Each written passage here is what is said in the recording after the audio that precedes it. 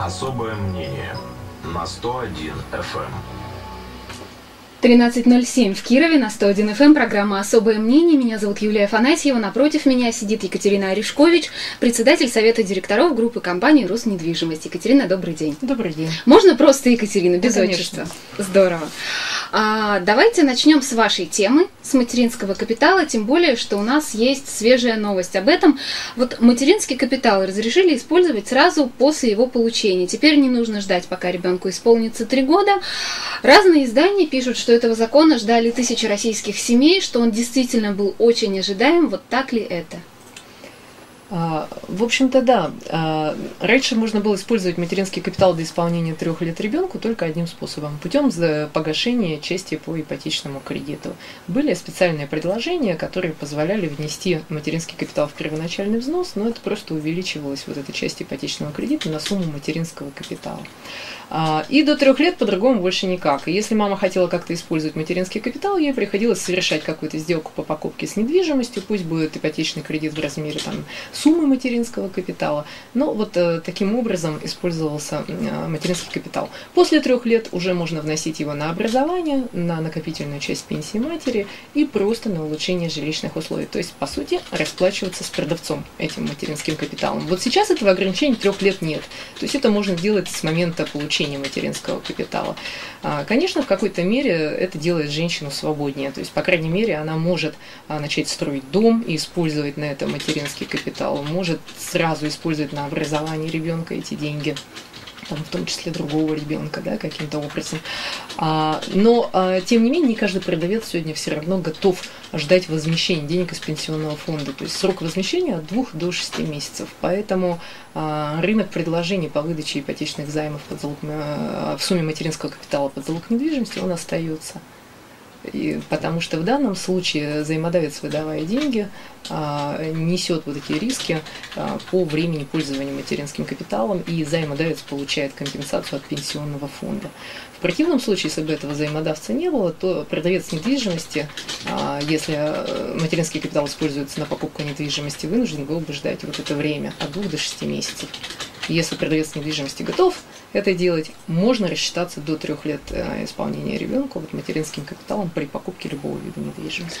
А при нововведениях этот период от двух до шести месяцев все равно остается. Да, да, это, во-первых, э, законодательно установлена норма 6 месяцев, по которой пенсионный фонд может рассчитываться с кредитной организацией, либо организацией за- взаимодавцем. И э, просто сложилась в разных регионах практика. Вот у нас практика 2-3 месяца. В соседних регионах, я знаю, 4-5.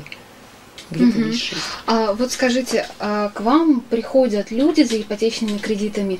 Получаете ли вы от них какую-то обратную связь? А, ну вот по использованию материнского капитала по этим трем годам, которые они должны ждать. То есть, не знаю, хвалят, ругаются, радуются, что он все-таки есть. Что-то говорят люди вашим специалистам? Ну, материнский капитал – это, конечно, большой бонус для семей с двумя детьми. Нельзя сказать, что женщины рожают ради материнского капитала. Нет, конечно. Но а, это приятное подспорье, которое позволяет все-таки какие-то квадратные метры приобрести. И, конечно, 90% там, процентов, а, случаев использования материнского капитала – это использование на улучшение жилищных условий. Ну, во-первых, это инвестиции семьи, да, то есть квартиру можно сдавать.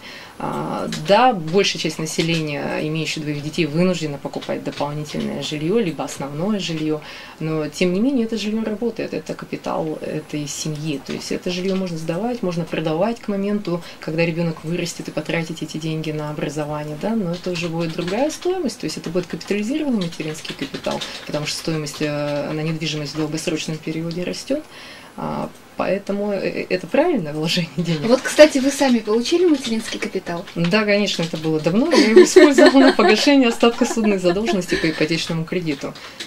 Э, Я, когда готовилась к программе, нашла статью на сайте РБК. А Наши коллеги-журналисты анализируют, достигли вот этот проект с материнским капиталом своей изначальной цели. Вот э, правительство России формулировало цель введения материнского капитала как повышение рождаемости. И из э, материала на РБК понятно, что этой цели а, не достигли. в некоторых регионах показатели рождаемости даже упали, несмотря на наличие материнского капитала. Вот как-то вы можете это прокомментировать? Ну, я могу прокомментировать из послания правительства, да, все-таки тренд, он в обратную сторону. В 2014 году впервые Россия вышла на положительные показатели по а, прибыли населения. Да? То есть все-таки динамика рождаемости сейчас выше, чем динамика убыли. Более того, Кировская область вышла на такие показатели. Ну, о чем мы говорим? Естественно, население прирастает. Стали рожать больше, мы это видим. А, наверное, это более стабильная какая-то там социально-экономическая ситуация. Да? Сейчас ну, более стабильная социально-экономическая ситуация. Не сейчас, но вчера, позавчера. То есть люди э, стали более уверены, и с помощью материнского капитала, точнее, с помощью этого инструмента, ну, удалось достигнуть э, большей уверенности женщине при появлении второго ребенка, что этот ребенок он будет обеспечен, да, неким капиталом, может быть, квадратными метрами, да, либо а, правом на образование, на платное образование. То есть вы с материалом РБК не согласны? Вы считаете, что материнский капитал способствовал увеличению рождаемости, пусть даже в отдельно взятой Кировской области? Вы знаете, материнский капитал а, – это национальное достояние нашей страны, да, то есть это очень правильный шаг и инструмент, который сподвиг, мне кажется, а, к смене вектора и вот к этому тренду по увеличению рождаемости. А кто бы чего сейчас не говорил, цифры, они доказывают обратное. То есть Россия сейчас находится в положительной динамике прироста населения. Это то, чего хотели добиться, внедряя этот инструмент. То есть э... и э, подспудно как бы правительство решало ведь и вторую задачу каждая семья становится, каждая семья, имеющая двух детей и более, становится инвестором на рынке недвижимости. Да? Соответственно, запускается основной рынок, который а, является локомотивом национальной экономики. Так, может, материнский капитал – это помощь не матерям, а рынку недвижимости? И-и. Потому что помощь рынку недвижимости – это помощь экономике, и значит снова в социальной сфере, да, потому что чем больше а, выручка, чем больше валовый региональный продукт, тем больше программ, которые идут на социально ориентированные нужды, тем больше бюджет формируется, наполняется. Поэтому это очень емкий инструмент, у которого два крыла, есть и экономический, и социальный, поэтому он ценен. Ну вот если возвращаться к этому же исследованию РБК, там на самом деле много графиков, и там есть график зависимости рождаемости от материнского капитала и график зависимости рождаемости от заработной платы. И когда смотришь на эти два графика, понимаешь, что рождаемость в гораздо большей степени зависит от зарплаты, нежели чем от материнского капитала. А вот Тут Минэконом, Минэкономразвития предлагал вообще материнский капитал отменить. Это было, кажется, в 2014 году.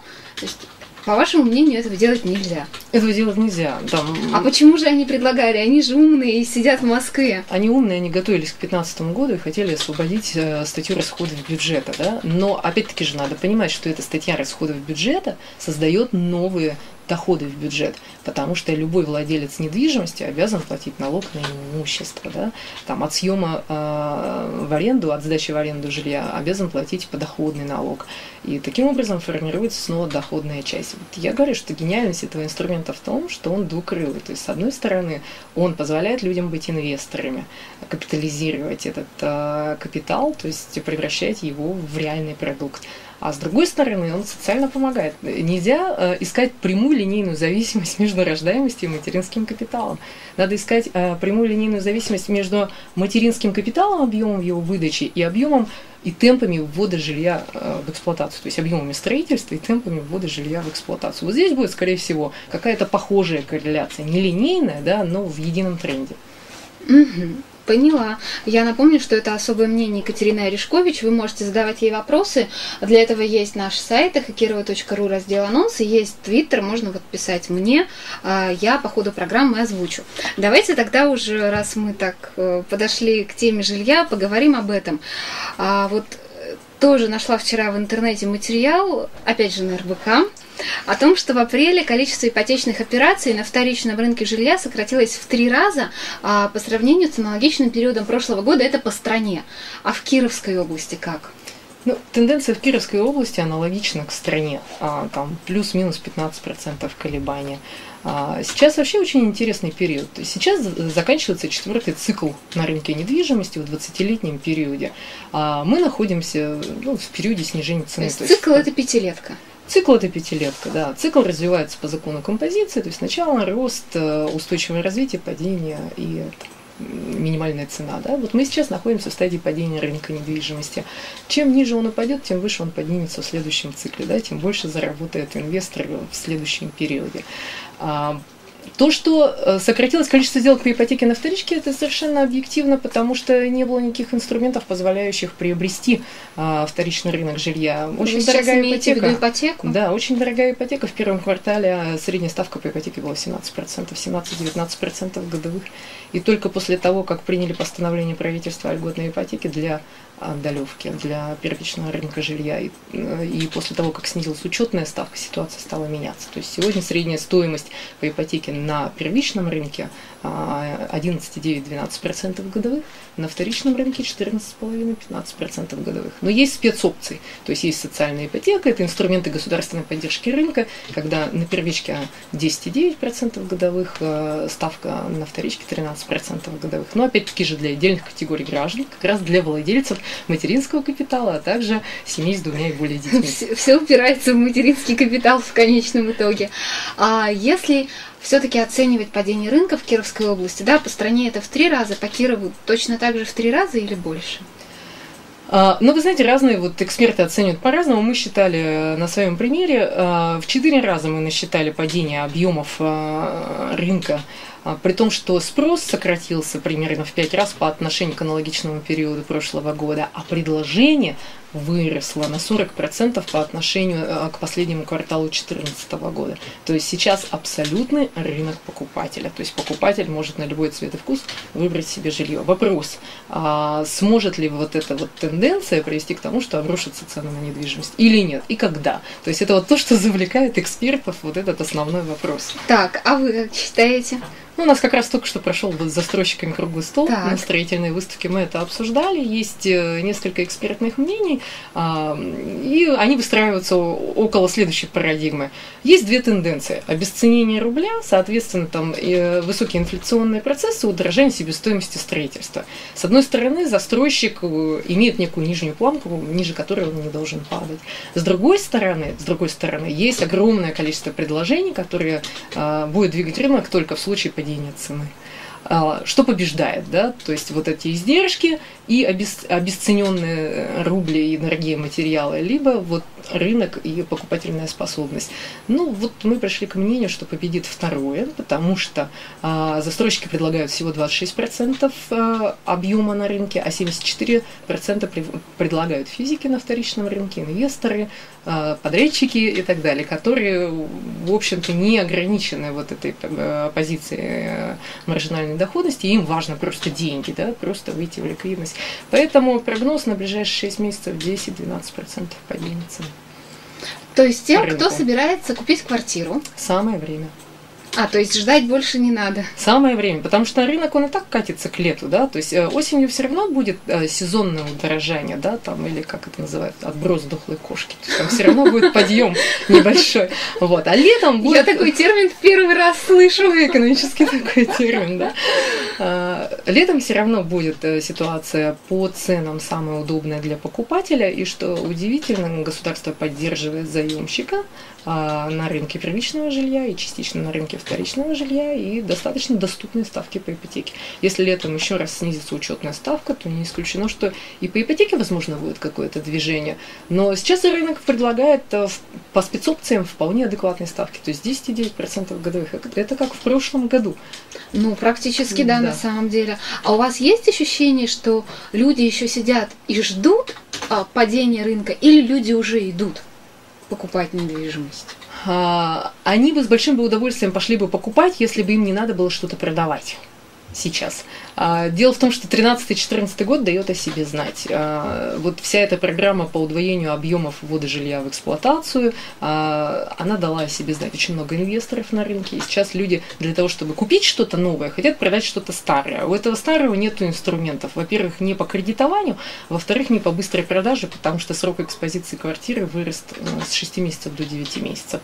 И, соответственно, самым популярным продуктом может стать программа «Переезд». Но кто ее предложит, да, когда под залог старого жилья можно получить деньги Как на трейдинг. новое жилье. Да, как трейдинг. Вот э, рынок требует сейчас этих программ, и э, тот, кто будет их предлагать, э, тот сможет выиграть спрос. А хотя желание купить, оно сохраняется. То есть вот спрос активен, но он не ликвидный. То есть у него нет ликвидности, денежной наличности. А может ли такую программу предложить, например, коммерческая структура? Все может быть. И Вот мы предлагаем такую программу совместно с одной из компаний-застройщиков на два объекта Метроград и Елки парк. То есть там как раз можно квартиру внести, ну, по сути, в первоначальный взнос, получив под нее кредит э, дешевый, 8,25, который не обслуживается до момента продажи этой квартиры. И, соответственно, после переезда, после окончания строительства квартиру можно продать. Таким образом, мы выигрываем время и э, продавать будем квартиру уже на подъеме рынка, то есть через год, через полтора. А не сейчас. Но оцениваете квартиру сейчас. Но оцениваем квартиру сейчас. Ну, то есть выиграете вы как компания. Не обязательно, от потому более что- высокой цены продажи. А, Мы же ее оцениваем с точки зрения предоставить кредит. А, Мы не претендуем на то, что мы должны продать ее по такой цене. То есть физическое лицо, если оно уверено, оно будет продавать квартиру само по рыночной цене. Тут его никто не ограничивает в этом. Это была небольшая рекламная Да, пауза. да, Я напомню, что это Екатерина Орешкович, ее особое мнение. Ну вот давайте тогда про ставки по ипотеке. А, Тут вот 15 мая вице-премьер Шувалов заявил, что к 17-18 году ставки по ипотеке снизятся до 7-8% при условии адекватной инфляции. Вот вы с такими прогнозами согласны? Искусственно можно сделать все, что угодно, потому что сегодня ипотека с господдержкой 12 это тоже искусственная ставка. Да? Мы знаем, что рыночная ставка другая, и просто софинансируется банком-участником программы вот эта разница между рыночной ставкой и рекомендуемой. Здесь можно поступить точно так же. А вопрос, насколько низко снижаться, ну, есть э, такая корреляция, которая позволяет людям покупать жилье. Если у человека есть сбережения, равные до 40% от совокупного дохода, который он может выносить по ипотеке, тогда человек участвует в ипотечной программе. Если сейчас доходы населения в среднем сократились по разным экспертным оценкам до 30%, реальный доход населения, то ничего удивительного, что правительству придется снижать ставку по ипотечному кредиту для того, чтобы поддержать тот спрос, который присутствовал в предыдущие годы, для того, чтобы двигать вот эту вот локомотивную отрасль э, строительства, которая там работает с мультипликатором 50. Да? То есть на один вложенный рубль в правительство а, 50 рублей зарабатывает экономика. А вот вы как считаете, это правильно таким образом регулировать ставки по ипотеке? А сейчас ничего другого не остается. То есть спрос надо поддерживать, это то, что дает кровь экономике. Ну, то есть, либо рынок по-своему отрегулирует на уровне Да, либо рынок, Выше. э, а, либо рынок отрегулирует путем сокращения объемов э, спроса, а соответственно строительства жилья. Это приведет к чему? Это приведет э, к безработице, к массовой, да, соответственно, к снижению э, экономического роста регионального продукта, валового национального продукта. Ну, в этом, мягко говоря, экономика наша не заинтересована, да, и правительство не заинтересовано. Поэтому для того, чтобы вот этот спрос, он существовал, а, нужны меры адекватной государственной политики. Вот если мы говорим, что это один из инструментов государственной политики, почему нет? Но, опять-таки же, покупая сегодня, а, мы всегда покупаем дешевле, чем покупая завтра. То есть сегодня а, мы покупаем фиксированную цену и соотношение дохода к этой цене. Да? Какая завтра будет цена на недвижимость там, в 2018 году? А, Я не знаю. Одному Богу Да, известно. да. И, возможно, реальная покупка обойдется дороже, даже несмотря на то, что проценты по ипотеке ниже. Просто квадратный метр будет стоить дороже. А вот вы сказали, что сейчас заканчивается очередной цикл рынка, Развитие развития да, рынка недвижимости. А когда же начнется следующий? Осенью? А вот есть разные экспертные оценки, Так. но вот по моим там скромным ощущениям это середина 16 года. Мгм. То есть под- э, до этого времени будет падение. Стагнация, возможно, небольшое падение, возможно, отскок вот этот вот осенний, да, который, может быть, будет держаться до начала следующего года, и дальше уже э, рынок получит свое развитие. То есть как бы развиваться в сторону краха он не должен по определенным причинам, если еще не наступит какое-то обстоятельство внешнее, да, форс-мажорное там в виде новых санкций или еще чего-то, отсутствие капитала вообще внутри страны.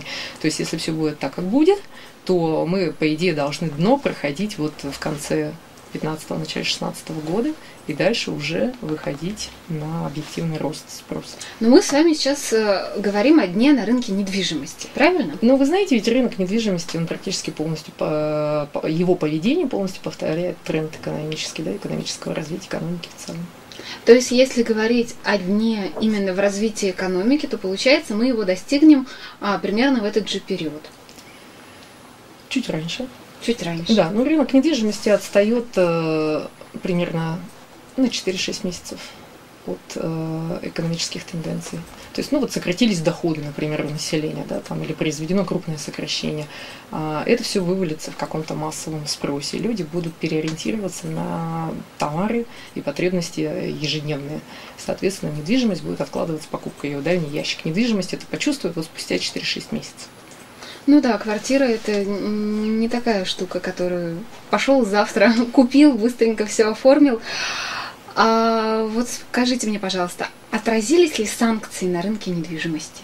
Ну, конечно, конечно. Потому что что такое санкции? Это отсутствие доступа к свободным кредитным деньгам а, на внешних рынках. Банки это почувствовали в конце прошлого года. Да?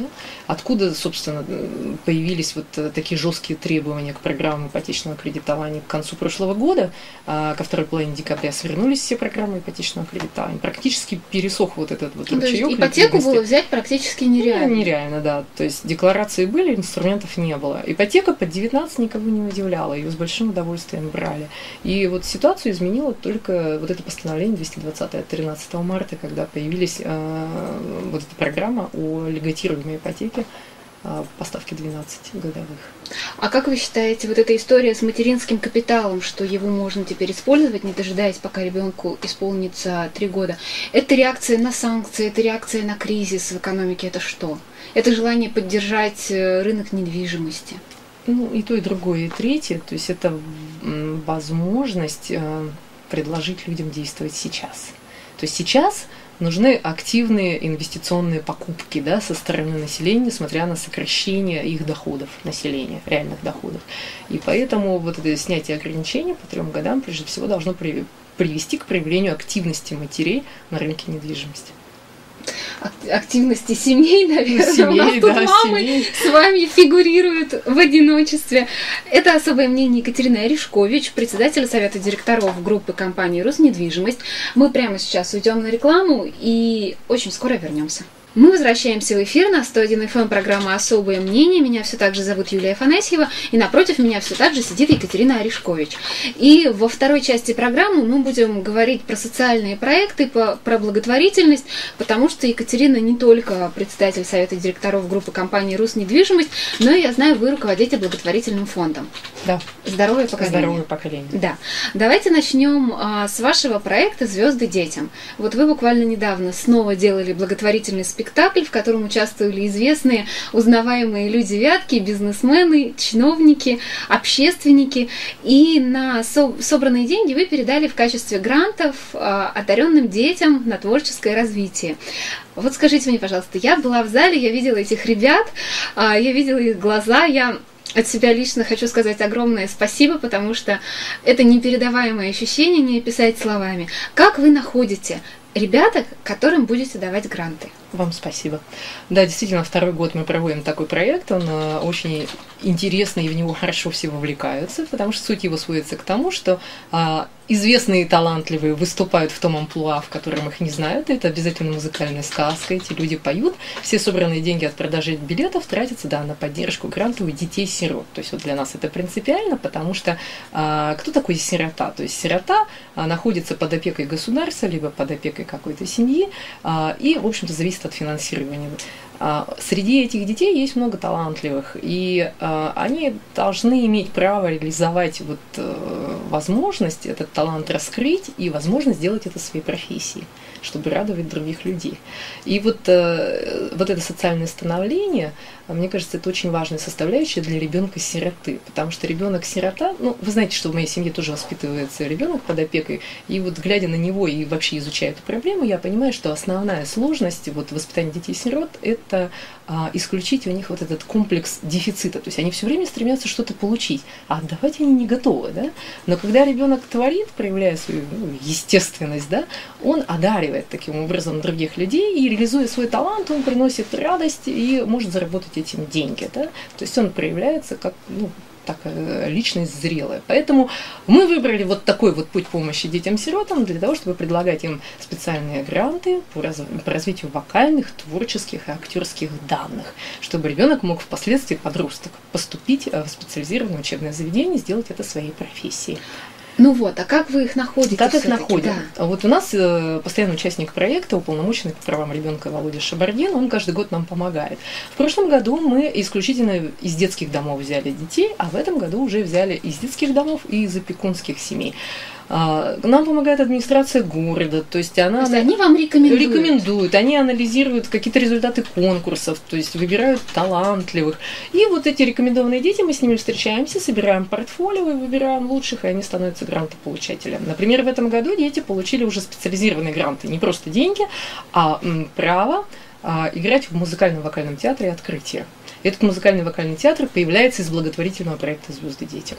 То есть вот эти То вот деньги, это они являются... тоже ваш проект. Это тоже наш проект, получается, да. И, э, соответственно, тот, кто готовит спектакль «Звезды детям», они становятся преподавателями вот в этой школе, в музыкальном театре. И ребенок целый год, вот как в музыкальную школу, ходит и занимается а, в этом театре. А один ребенок из а, 11 грантополучателей получил грант на поездку в лагерь, в подростковый лагерь личностного роста «Скажи жизни да». Это тоже наш проект благотворительного фонда, мы его делаем второй год. У меня год. только один вопрос, когда вы успеваете работать?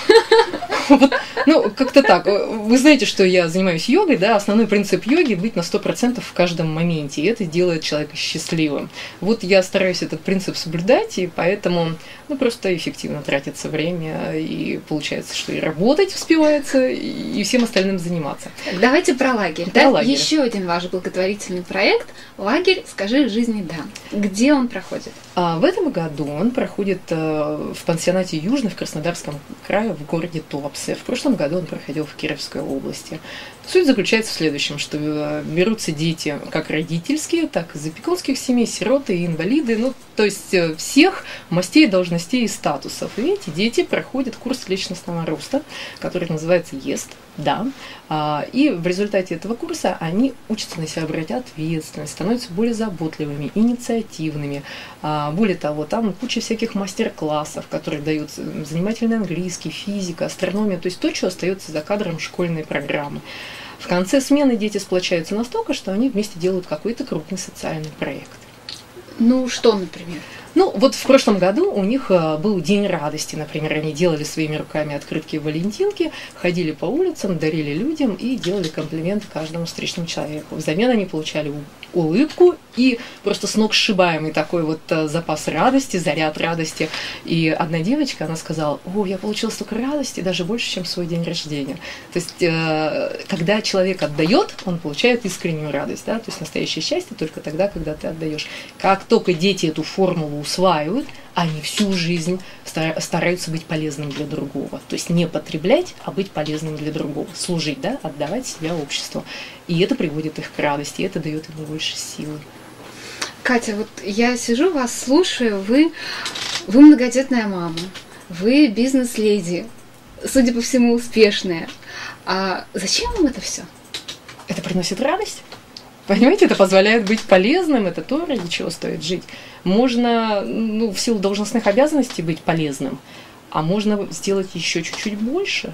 И знаете, есть такая сутра ответственность равна силе. Чем больше берешь на себя инициативы, тем больше энергии тебе дается. Я вот сколько делаю, все время утверждаюсь в этом, что чем больше делаешь, тем больше у тебя энергии, времени и сил. А скажите, пожалуйста, вот после того, как э, ваши детки там съездят в лагерь, да, они будут ходить в как называется, открытие, да, детский театр? Ну, э, те, кто поедут в лагерь, не обязательно будут ходить в открытие. Те, кто пойдут в открытие, не обязательно поедут Ну, в лагерь. суть- То есть это два Мгм. несовмещенных проекта, но они, да, они могут Суть моего вопроса, да, в другом, о другом хотела спросить. Вы как-то участвуете в жизни этих деток после того, как они ну, выходят из вашего проекта, становятся там выпускниками, прекращают заниматься, возвращаются из лагеря? А, ну, у нас есть связь, у нас есть группа в соцсетях, то есть я смотрю, как они взаимодействуют. Мне важно, чтобы они не со мной коммуницировали, а между собой коммуницировали и что-то предлагали в этот мир. Да? А, у нас вот в прошлом году была девочка из детского дома, например, э, в лагере «Скажи жизни да», она очень много сделала, сумела сделать после этого проекта. Она поверила в себя. У нее э, нет сейчас такого комплекса, что она сирота. Ведь у очень многих детей вот этот комплекс, его ничем не вытравишь, он на подсознании. Она творчески развивается, поет, танцует. И самое главное, она очень благодарна. Благодарность – это то, что детдомовские дети практически не умеют испытывать. А благодарность равна силе. То есть это и есть энергия для новых движений, свершений, желаний, достижений. То есть это умение ценить то, что есть. Вот знаете, некоторое время назад у нас в студии была Лена Лянгузова. Это одна из соучредителей РОРДИ, э, региональная организация родителей детей-инвалидов. И вот я ее спрашивала, а, почему в последнее время появилось столько благотворительных проектов, потому что их на самом деле действительно стало много. И она сказала, что это в какой-то мере стало модно. Вот вы согласны с этим? Это не мода, это потребность души, понимаете? Ведь истинное предназначение человека отдавать. То есть он получает в этом радость. Вот давайте проведем эксперимент. Вы что больше любите? Чтобы вам на день рождения Ну, дарили дарить, подарки, конечно, да, или конечно дарить? же, Конечно же, дарить. отдавать. То есть это ваша естественная суть природа. Как ее выразить, как самореализовать? В благотворительных проектах, то есть в проектах отдачи, да? Почему их много? Потому что люди стали естественнее. Они стали приходить вот к этому бесконечному источнику радости, служения. А, И там, где эти проекты искренние, они удачные. Они хорошо получаются, в них вовлекаются легко другие люди, потому что это коррелирует с э, естественностью каждого, со стремлением каждого. То есть это на уровне сердца все происходит, а не на уровне головы. Что такое модно, модно, модно? Ну, я не знаю, вот в чем потребность души, в том, то и модно. Мгм. А, ладно, хорошо. А, я вам хочу задать вопрос из Твиттера. Интересно, что это вопрос от, от мужчины. Мужчина, Да, от мужчины вопрос. Блогер Роман Орловских спрашивает, вот чисто по-женски, каково ваше отношение к закрытию бэби-бокса? Чисто по-женски мне не нравится это решение, потому что а, Не нравится решение о закрытии. О закрытии, да, да. А, Это право. Это право выбора, и оно должно оставаться. Одни нашли деньги для того, чтобы создать это право для других. Почему нашелся кто-то тот, кто закрыл э, этот бэби-бокс? Чем он мешает, я не понимаю. Вот искренне, Ну, я там не понимаю. юридическая коллизия, насколько я э, помню. Закрыли бэби-бокс по представлению прокуратуры. Я считаю, что надо, понимаете, искать не э, необходимость закрыть, а возможность разрешить. То есть эту вот юридическую коллизию разрешать возможность того, чтобы это оставалось. Это э, бэби-бокс не является какой-либо провокацией, да? Это просто возможность матери принести ребенка той матери, у которой, может быть, нет условий для э, проживания с малышом. Она, может быть, и не готова с ним расставаться, но сколько вот таких вот детдомовских детей, которые вышли, остались без жилья, и а, они э, ну, каким-то образом рожают детей, и с этими детьми им просто некуда пойти. Ведь э, у православной церкви есть, э, у некоторых православных храмов есть приходы вот для таких матерей, но это единичные случаи. Вот для матерей, кто оказался в сложной ситуации. Они там живут. Они там живут, да, либо им как-то помогают. Но не, не все матери, может быть, настолько осознанны, настолько к этому готовы. Может быть, надо созреть какое-то время. Ведь есть же опыт, когда мать забирает ребенка через определенное время. Это, это лучший сценарий развития для него. Ему надо дать право на жизнь. Иначе он ну, может просто погибнуть в каких-то альтернативных да, условиях. А как вы считаете, чем эта история вот с бэби-боксами закончится? У нас э, на прошлой неделе вот как раз Владимир Сизов сказал, что вот я считаю, что представителям римско-католического прихода надо было в первую очередь идти, ну, так скажем, в госорганы и согласовать mm-hmm. с ними эту идею, что вроде давайте мы у себя установим, а вы будете нас контролировать, да, как ну, мы возможно, это делаем. Возможно. Вот как вы считаете, чем сейчас это все закончится? Запретили и запретили, или все-таки э, эту историю как-то разрулят и она получит ну, такое положительное продолжение? Я не знаю, кто это сколько вложит усилий да, в развитие этой истории. Если найдутся какие-то правозащитники, которые а, будут писать и просить защиты там, у органов власти, может быть, власти развернется к этому вопросу лицом. То есть сейчас запретили, потому что это не, ну, не по закону, не по уставу и нет нормативной практики. Но это не означает, что так должно быть всегда. То есть настоящий юрист это а, не тот, который говорит там, почему нельзя, а что можно сделать так, чтобы было можно в этом правовом поле, находясь. Угу. Талантливый Я... юрист. Ну да, наверное. Талантливый юрист это который э, закон что дышло, который его поворачивает туда, куда нужно. А у нас осталось с вами, в общем-то, три минуты, немного времени. Я бы хотела, наверное, завершить программу чем-то хорошим. А, в следующем году у вас будет снова спектакль Звезды детям. Да, конечно, заявки уже принимаются, и та команда, которая играла в этом году, она готова участвовать в полном составе в следующем году. Более того, я думаю, что добавятся детки из театра открытия, и уже большую часть спектакля они возьмут на себя. В следующем году вы тоже собираетесь петь. Или будет что какое-то другое творческое проявление? Ну, э, мы в проекте поем и танцуем, да. А пока мы а, упражняем тот навык, которым владеем, да, мы поем, потому что мы двигаемся в сторону музыкального театра, вокального театра, и хотелось бы внести в это лев, то, чтобы он был создан. Я желаю, чтобы этот проект в следующем году тоже состоялся. Я, наверное, задам последний вопрос. Ну, извините, про деньги. Да. Сколько денег собрали в этом году? Денег собрали 189 тысяч, и, в общем, практически все их и отдали детям. Это хороший результат? Это хороший результат, потому что мы продали практически весь зал и даже стоячие места. Ничего себе. Я почему-то не видела, что стояли, но зал был действительно полным. Спасибо вам за ваш проект опять же, да, повторюсь, я надеюсь, что в следующем году он также состоится. Мы обязательно придем. К сожалению, я не пою, но я умею танцевать. Так что, если что, приглашайте. Это было особое мнение Екатерины Орешкович, председатель Совета директоров группы компании «Рус-недвижимость» и э, руководителя благотворительного фонда «Здоровое, Здоровое поколение». поколение. Да. Спасибо вам большое Спасибо. за эфир. Всего доброго.